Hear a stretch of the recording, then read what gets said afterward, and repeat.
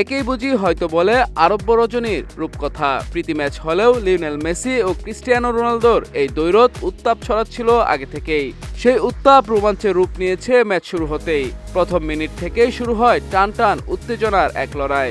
Saudi আরবের king Fahad স্টেডিয়ামে এদিন পয়সা উসুল হয়েছে দর্শকদের। পিএসজি বনাম অল স্টার একাদশের ম্যাচটি রচনা করেছে সত্যিকারের আরব্য রজনী। ম্যাচের শুরুতে যেন শুরু হয় শ্রেষ্ঠত্বের লড়াই। প্রথমেই লিওনেল মেসির কাছ থেকে বল ছিনিয়ে নিয়ে রোনালদো যেন জানান দিলেন, লড়াইটা একতরফা হচ্ছে না। তবে জবাব দিতে বেশি দেরি করলেন না এল এম টেন। ম্যাচের তিন মিনিটেই দুর্দান্ত এক শট থেকে বল জালে পাঠান জাদুকর। চৌত্রিশ মিনিটে পেনাল্টি থেকে সমতা ফেরান রোনালদো। এর পাঁচ মিনিটের মাথায় বার্নার্ড লাল কার্ড দেখলে দশ জনের দলে পরিণত হয় পিএসজি তবে তাতে খেলার গতি কমেনি। একটু তেতাল্লিশ মিনিটে এমবাপ্পের এসিস থেকে ব্যবধান বাড়ান পিএসজির মার্কুইনহোস প্রথমার্ধের যোগ করার সময়ের দ্বিতীয় মিনিটে পেনাল্টি পায় পিএসজি কিন্তু নেইমার সে সুযোগ কাজে লাগাতে পারেননি। এর কিছুক্ষণ পরই আরও এক গোল করে সমতা ফেরান রোনালদো।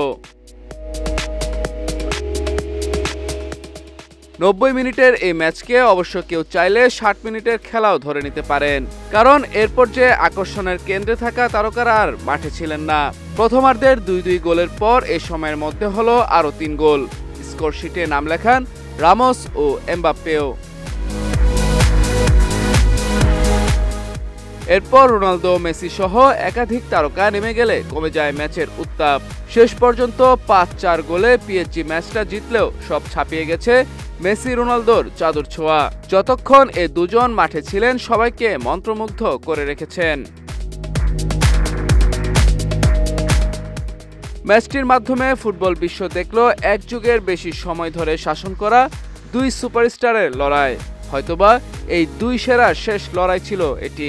আক্ষরিক অর্থেই ম্যাচটি ছিল রোনালদো, মেসিময়। দুজনকে হাত মেলাতে দেখা গেছে ম্যাচ শেষে।